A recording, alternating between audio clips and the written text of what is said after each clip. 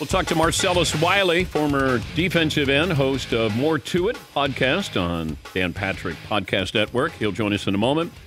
His uh, interview this week is with a former teammate, LaDainian Tomlinson. And uh, here is a clip where LT talks about reuniting uh, with his uh, father.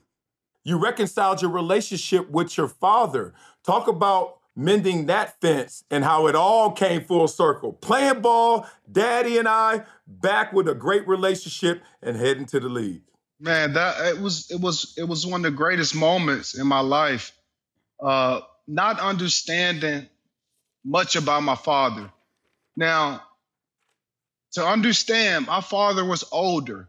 You know, he was, let me do the math, 40, late 40s. Ah, Yeah. yeah, that's me. So when he had me, he was late 40s. So I didn't get a chance to really know him, know him until I got to college.